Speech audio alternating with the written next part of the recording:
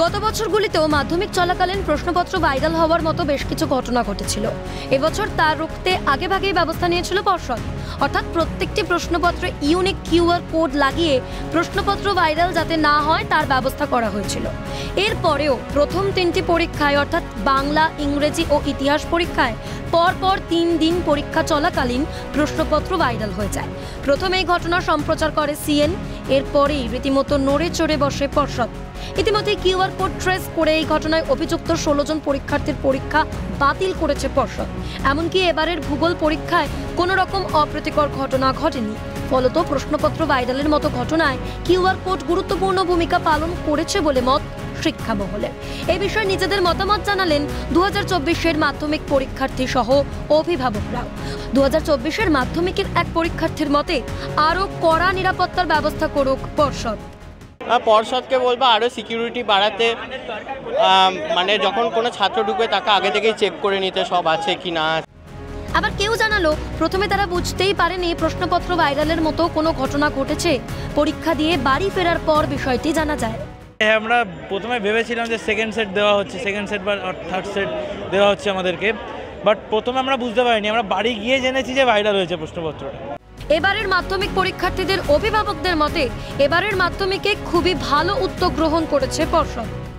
কিছু তো অসাধু মানুষ থাকবে কিছু কিছু ছেলেপিলে থাকবে কিন্তু তার জন্য পর্ষদের দোষ নয়। যে যে মানে পদ্ধতিটা করেছে কোশ্চেনের ওপরে এই পদ্ধতিটা মানে খুবই ভালো।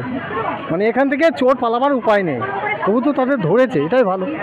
এত এত সেন্টার এত পরীক্ষার্থী এত বড় পরিকাঠামোর মধ্য দিয়েও সরকার এগোচ্ছে বা পর্ষদ এটা চেষ্টা করছে কমসে কম সেটার ক্ষেত্রে দু একটা বিচ্ছিন্ন ঘটনা বা এগুলো লিখে যেভাবেই হোক না কেন হচ্ছে এটা কাম্য নয় কোনো ঠিক আছে।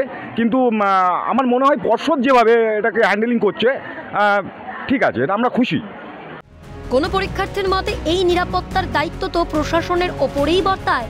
এটা ভাইরাল হতে পারে। এবার মানে সরকারের দেখার দায়িত্ব সেটা। সেটা তো আর নর্মাল স্টুডেন্টদের দেখার দায়িত্ব না। এটা সরকারের দেখার দায়িত্ব। এবার- সরকারের কতটা রেসপন্সিবিলিটি আছে সেটা সরকারকে দেখার দায়িত্ব। কোনো অভিভাবক আবার শিক্ষক মহলকেই দায়ী করলেন প্রশ্নপত্র ভাইরালের ঘটনায়। গাফিলতি আছে। কোশ্চেনটা ফাঁস হলো কী করে? ওই মানে ই করে কি গেল কী করে? হুম মোবাইলটা ভিতরে গেল কী করে? সেটা মাস্টারদের কিন্তু দে- দেখার ব্যাপার আছে তো।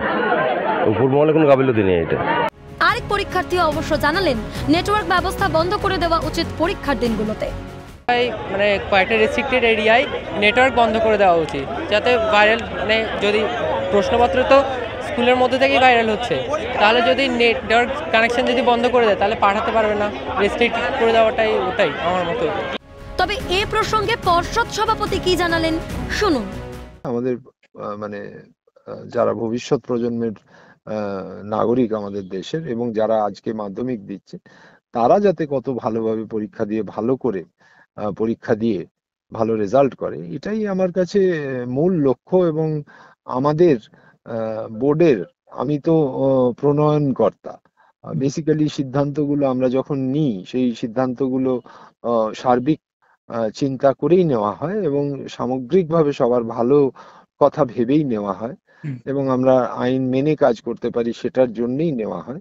তো প্রণয়ন করার ক্ষেত্রে আমি নিশ্চয়ই বলব যে যেখানে যেভাবে আমরা ব্যবস্থা করেছি সেই ব্যবস্থা সঠিকভাবে চলেছে। কারণ কিউআর কোড ছাড়া অ্যাজ সাচ এবছর আহ, সেই অর্থে কোনো আমাদের সিস্টেমে কোনো আমরা মানে যে প্রথম দুটো পরীক্ষার পরে মানুষ সচেতন হয়েছে এবং সাবধান হয়েছে। একদম। এবং এই জায়গাটা থেকে বিরত থাকছে। এর থেকে ভালো সব মিলিয়ে এবারের মাধ্যমিক পরীক্ষায় পরপর তিন দিন প্রশ্নপত্র ভাইরাল হয়ে গেলেও পর্ষদের কিউআর কোডের গুরুত্বপূর্ণ ভূমিকা অস্বীকার করলেন না কেউ মণি ভট্টাচার্য অপুশীল এবং প্রসেনজিৎ বিশ্বাসের রিপোর্ট ক্যালকাটা নিউজ।